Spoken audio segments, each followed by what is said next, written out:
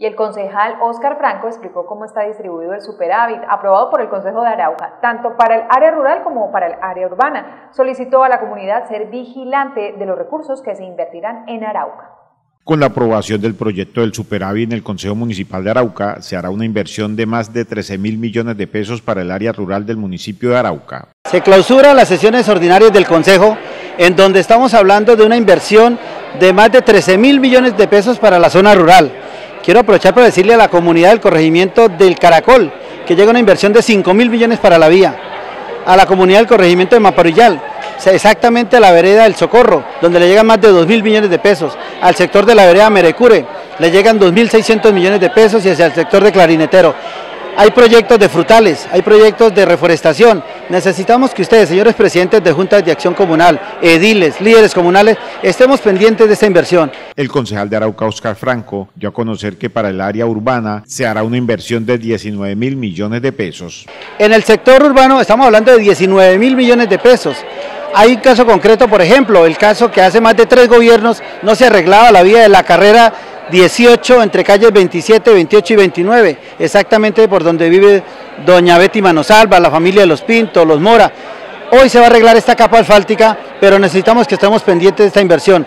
El sector del Banco de Salinas, se va a hacer un parque recreacional ahí, necesitamos que saquemos estos vandalismos, ladrones, consumidores de droga, sectores de la Comuna 3, la Comuna 5.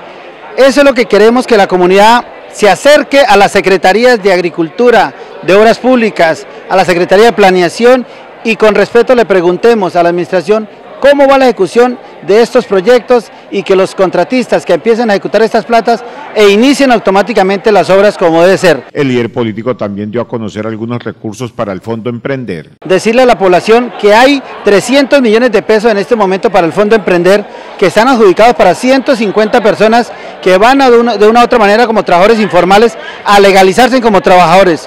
El proyecto de la Función Pública de Empleo le, le aportamos también por parte de la administración pidió que le aprobáramos 500 millones de pesos. El Fondo Emprender capacita por intermedio del SENA a todos aquellos vendedores ambulantes para que automáticamente legalicen sus trabajadores, por ejemplo, los trabajadores de venta de pescado, los trabajadores de venta de chuzos, de venta de raspado, de helados, que empiecen a hacer esa capacitación y legalicen sus empresas como microempresarios.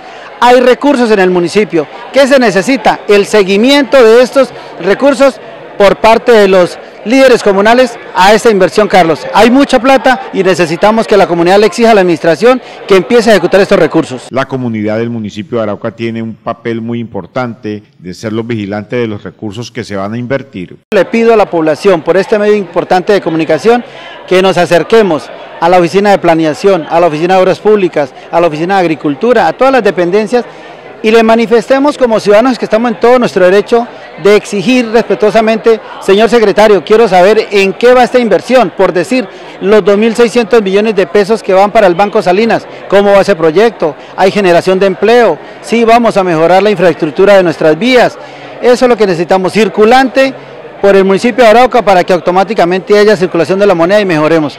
El Fondo Emprender hay que fortalecerlo con esta plata y que en realidad nos capaciten para sacar adelante a nuestros microempresarios. Eso es lo que estamos pidiendo. El proyecto del superávit fue sancionado por el alcalde del municipio de Arauca, Benjamín Socadagüí, y ahora iniciará el trámite de su ejecución.